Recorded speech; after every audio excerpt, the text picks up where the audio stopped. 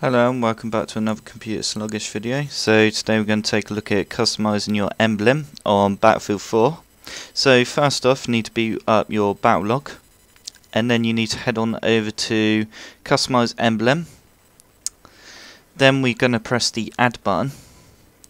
So create a new emblem and then head on over to emblem bf emblem sorry bf.com. So I'll put the link in the description.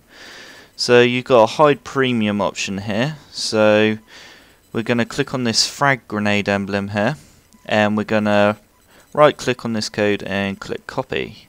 Now head back over to your Battlelog and for Chrome, if you're using Google Chrome, you need to hold Control Shift and J to bring up the, the debugger. And if you're using Firefox, hold Control Shift and K. And for Opera, Control Shift and L and for Internet Explorer just press F12.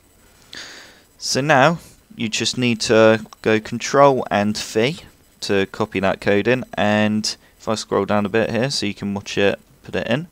Now if you simply just press enter and there you go we've got a grenade there.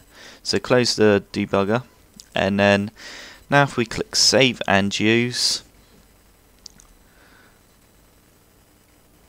Right, so now it's saved. If we head back over to our soldier, and as you can see, we've got our new emblem there. I hope you enjoyed this tutorial. Remember to like the video and subscribe for more. And if you've got any problems, post a comment below.